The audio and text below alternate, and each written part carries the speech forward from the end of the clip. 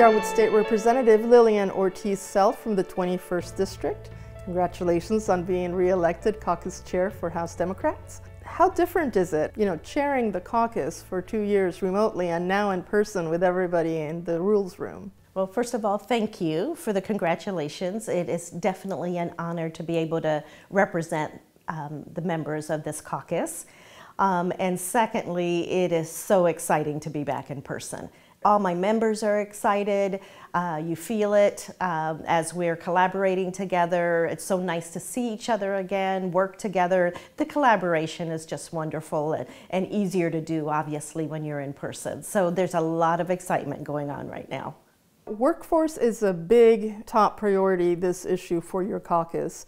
So, and you have a couple of bills at least that deal with specifically growing and strengthening the workforce. Can you talk to me about those bills? Yes, um, I'd like to say that, uh, first of all, you're right. Uh, our caucus is really looking at our economy and strengthening our workforce is a big part of that, especially in areas that are our essential workers, such as educators, uh, healthcare, nurses, child care providers, long-term care providers, behavioral health, all of those are big issues that were impacted by the pandemic and ones that we're hoping to address this session.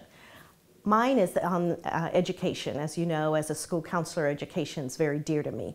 So looking at the educator workforce, and I'm introducing the Educator Workforce Act uh, to look at the recruitment and retention of our teachers. But you also have, you've been working on dual language for quite a few years now, and you have a, a new dual language bill. I do. As you know, in the past, uh, the dual language bills have been funded through grants, and they've been temporary and startup dollars for our districts. I am so excited to be partnering with OSPI and looking at bringing dual language statewide so that our goal is by 2040 that every school district will have at least one dual language program and that we will have the workforce to sustain it. And lastly, I just wanted to touch on the PAGE program. Now that we're back in Olympia, you want to, to have pages around. How does that work? You know, I love the curiosity that our pages bring to this place. They leave with so much knowledge. They come in here and they learn things that, that you can't always learn in a textbook. Um, some of my colleagues have been pages.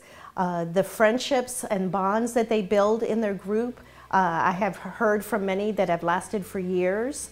Um, and they play a pivotal part of keeping our system going here. So if you uh, know anyone who is interested in being a page, please contact our office. Tell them to contact our office because we would love to have them here.